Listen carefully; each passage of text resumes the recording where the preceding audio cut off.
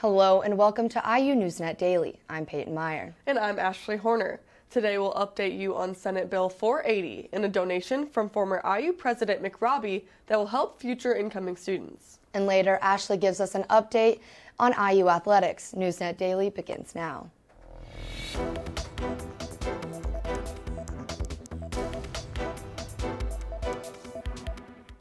A changing environment means new weather patterns and stronger storms, bringing a whole new meaning to spring showers. According to Risk Factor, a nonprofit tool used to measure a city's risk of flooding, if a low likelihood storm results in severe flooding, slightly over 1,000 properties could be damaged in Bloomington. The earth and atmosphere getting, is getting warmer, but nothing is new.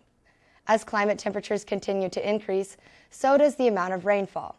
According to IUPUI professor Gabriel Filippelli, flooding can lead to many environmental issues. Climate change is not about just temperature, but it's also about moisture. So the atmosphere uh, tends to be a lot more, uh, uh, have a lot more water in it when it comes to major storms.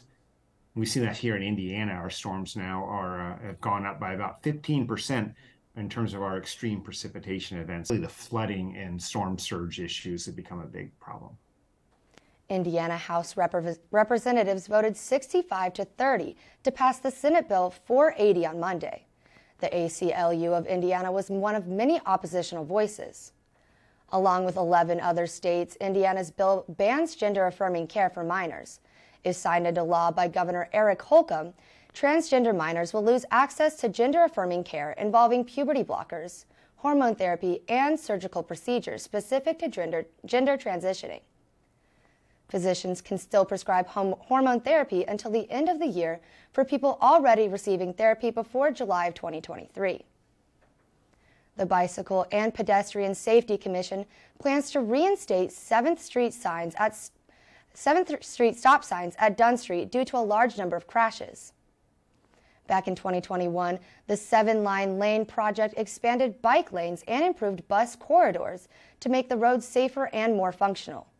According, according to the BPSC, 12 crashes took place at 7th Street and, and Dunn this year alone.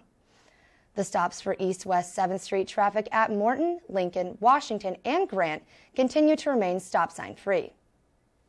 Former President Michael Ro- McRobbie made a gift of $500,000 to IU in support of behavioral health at the IU Regional Academic Center this year. According to IU Health, IU Health matched the gift, bringing the total to $1 million. The donation aims to ex- at expanding and upgrading peer counseling and other mental health services for 18 to 34 year old clients. The two behavioral health center facilities located in IU Bloomington Hospital and Emergency Department will be named after the former First Lady and President McRobbie. The gift will be formally announced on April 17th at RAHC here in Bloomington.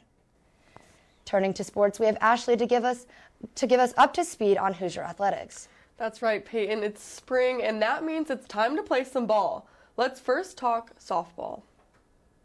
Indiana softball added another win to their already 15 game winning streak as they took on Butler yesterday afternoon. The Bulldogs were on an eight game winning streak before coming into yesterday's game. Sophomore Taylor Minnick came out swinging as she sent both Cora Bassett and Tatum Hayes to home plate. The final score was 9 to 1. Looking ahead, the Hoosiers will travel to arch rival territory where they will play a doubleheader against Purdue on Sunday. This will be the 82nd game between the two teams with IU trailing 40 to 41 in all-time wins, almost an equal record. Indiana needs only two more wins to tie their longest win streak in program history, and they could do it this Sunday. So now let's talk baseball. Indiana baseball is also on a 16 home game winning streak after last night's close game with Kent State. The win came from the defense as seven different pitchers took the mound, um, and of which four of them pitched scoreless outings. Later this week, Indiana will travel to Penn State to play in another Big Ten matchup. And if you're not a part of IU athletics but are looking for something to rock your world, take a grab at indoor bouldering. No ropes, no experience, no worries. IU Outdoor Adventures bouldering wall is free for all now until until May 5th in Eigenmann Hall. Open year round, each wall allows beginners to, to experts to try their hand at different different styles of rock climbing. Rather than climbing up to reach a certain height, participants follow different multicolored routes with a padded floor to, to catch any wrong move. There's a mental aspect to it, how you approach the problem, and then also just being very comfortable with, you know, with your body, with the rock, trying to improve yourself as a climber. So there's a lot of, I, I find it very intrinsically rewarding. One last thing before we go. This month, the Indianapolis Zoo announced the pregnancy of one of its tusked friends. Meet Zahara, the 16 year old African elephant due in October. The calf will become the third generation in the zoo's herd. Having a multi generation herd helps educate staff and visitors about elephant behavior. Like its mother, it was conceived through artificial insemination, a historic first in elephant research.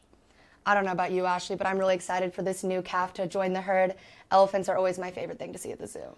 Oh, yes, they're the best. However, I do prefer the giraffes. Understand. Like feeding them. All right, and that's a wrap for today's IU Newsnet Daily. Tune in for the latest updates on all Hoosier news and sports. Be sure to follow us on Instagram at IUNND. For Newsnet Daily, I'm Peyton Meier. And I'm Ashley Horner. Thanks for watching, and we'll see you tomorrow.